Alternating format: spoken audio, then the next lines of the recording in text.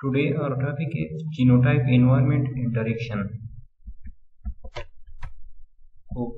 these are the outlines of our topic first of all I will explain genotype environment types of environment micro environment macro environment gene environment interaction example of gene environment interaction तो genotype all the alleles possessed by an individual are its genotypes. Any combination of the two alleles of different forms of a gene at a locus in an individual is called as genotype of the individual for that locus. Genotype may be homozygous or heterozygous.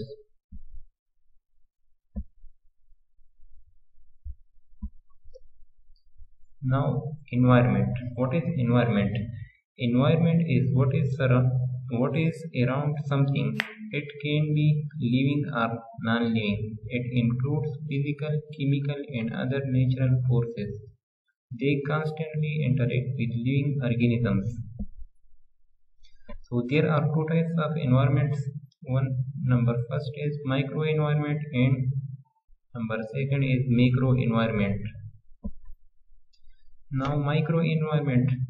Microenvironment is also known as microhabitat, a very small specific area in a habitat distinguished from its immediate surrounding by factors such as the amount of incident light, the degree of humidity, and the range of temperatures.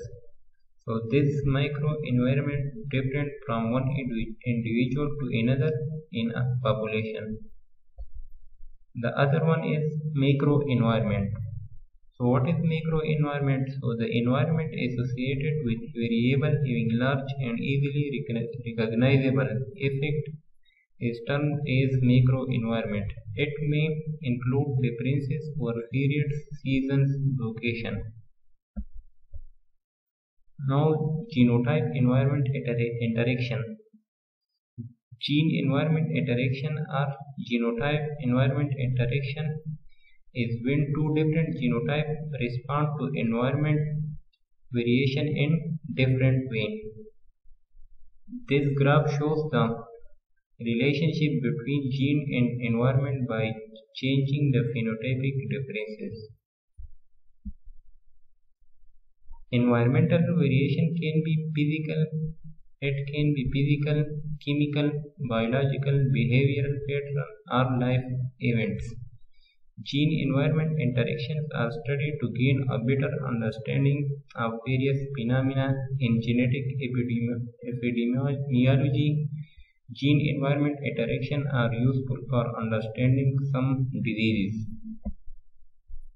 Individuals with different genotypes are affected differently by exposure to the same environmental factors, and thus gene environment interaction can result in different disease phenotypes. For example, sunlight exposure has a stronger influence on skin cancer risk in fair skinned human than an individual with darker, darker skin. Now the example of gene environment interaction. The classical example of gene environment interaction is Drosophila. So a classical example of gene environment interaction was performed on Drosophila by Gupta and Lewontin in 1981. In their experiment, they demonstrated that the mean bristle number on Drosophila could vary with changing temperature is seen in this graph the right the different genotype reacted differently to the changing environment. Each line represent a given genotype. The slope of the line reflects the changing phenotype bristle number with changing temperature. Some individual had an increase in bristle number with increasing temperature while other had a sharp decrease in bristle number with increasing temperature. This showed that the norms of reaction were not parallel for these flies, providing that gene environment interaction exists. this is all about gene environment interaction so thank you